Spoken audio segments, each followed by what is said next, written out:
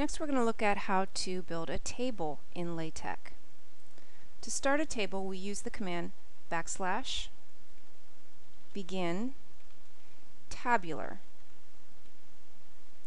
And notice um, a couple of things. After tabular we have another set of curly braces and it's looking for us to insert some kind of argument there. And then we also have a matching end tag, end tabular. So begin tabular uh, to start our table and end tabular to indicate that we are finished with the table. Now in this second set of curly brackets we have to indicate how many columns we want in our table. And we're not going to type a number, we're actually going to indicate whether we want our entries centered or left justified or right justified. I want my entries centered so I'm going to type a C, and this would give me a table with one column. If I type another C, I'm going to get a table with two columns. Let's make a table with six columns. So I'm going to type six C's, and that means in each of those columns, the entries are going to be centered.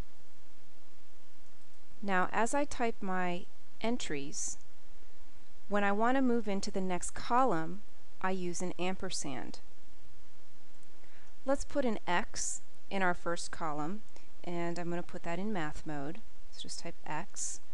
And then in my um, next columns I want to type the numbers 1, 2, 3, 4, and 5. So X is in my first column. Now to move to the second column I use the ampersand. Then I type the next entry which is a 1, then an ampersand, 2, ampersand, 3, ampersand, 4, ampersand, 5. Now the spaces I'm typing in the code aren't going to show up as spaces in the document. It just helps me to kind of organize the code as I'm writing it. You can insert spaces. You can see that I did that up here just to kind of separate the code for the fraction. That absolutely has no effect on the output. It's not going to insert spaces in the output. It just helps me um, visually to organize the code. So now I have my six columns, x, 1, 2, 3, 4, and 5. When we want to go to the next row, we have to type two backslashes. This forces a line break and takes me to the next row of my table. So in the next row, instead of an x in the first column, I want f of x. And uh, since that's not a tall object, I don't need to use expanded parentheses. And then I'll fill in uh, values for the rest of the columns in that second row. So let's do 10, 11, 12, 13, 14.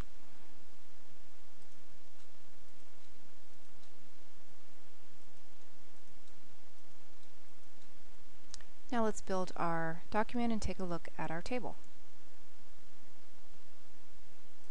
Now our entries are all nicely aligned, but it doesn't really look like a table. It would look better if I had some lines separating my rows and columns. Let's see how we can accomplish that. The command backslash h line will insert a horizontal line and where I've placed it it's going to insert a horizontal line after the first row and before the second row. So if we build that then we have this nice um, separator. If I want vertical lines separating my columns then I have to come up here where I've defined my columns and use the uh, pipe key on the keyboard and that should insert a vertical bar. Now it's looking more like a table. And if I wanted to, I could insert vertical bars in between each of the columns.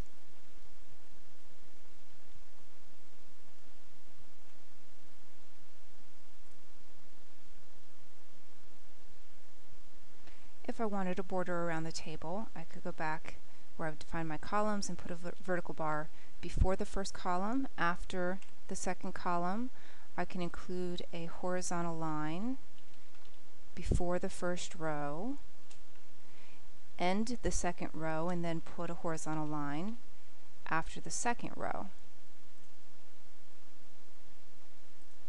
And then our table appears to have a border around it. Finally, we're going to take a look at how to make an equation array.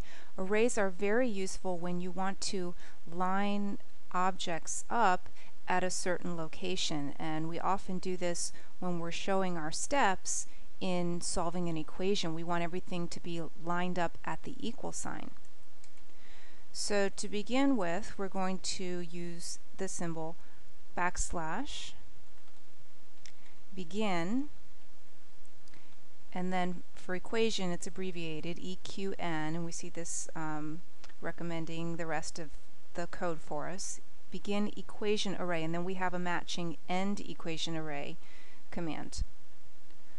When we use equation array we're automatically in math mode. So it's not necessary to type dollar symbols. We're automatically in math mode.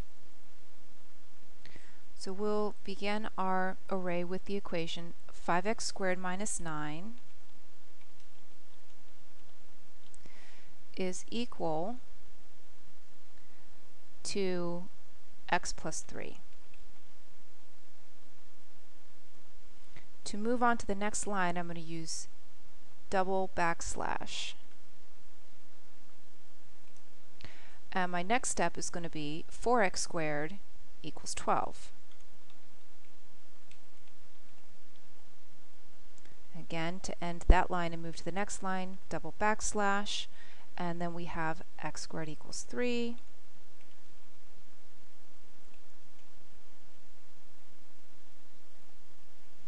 And we have x is approximately, I don't want to use an equal symbol here, um, I want to say approximately, so the code for the approximately symbol is backslash approx. x is approximately and then I want the plus or minus symbol, that's backslash PM, and the value 1.732. So let's see what happens when we try and build this. Okay, we have all of our equations, but notice they're not all lined up vertically at the equal sign. They're all justified right, which is not what I want. Also, as I scroll over to the right, I see that these equations, each of the lines, are numbered. When you're working into, in an array, um, by default it's automatically going to give you line numbers, which is useful uh, for reference if you're writing a paper and you have to refer to a certain step in your problem. The first thing I want to change about this is I want all of these things to line up at the equal sign. So we're going to go back into the code and we're going to wrap the equal sign character with ampersands. So one in front and one after. And that's going to tell the compiler that we want to align these equations with that symbol. And I'll do the same for my approximately equal to symbol.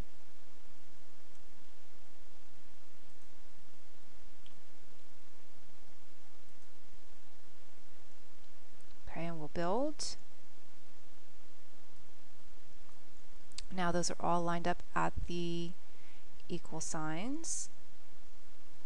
If I don't like the line numbering and I want to hide that, that's very easy to do. We just go into the command begin equation array and then also the end equation array and after the equation array, after that y there, we're going to type an asterisk. So we'll do that in the opening command and the closing command. And now when I build, it has hidden those line numbers from view. So that wraps up our tutorial on bracketing symbols, tables, and arrays.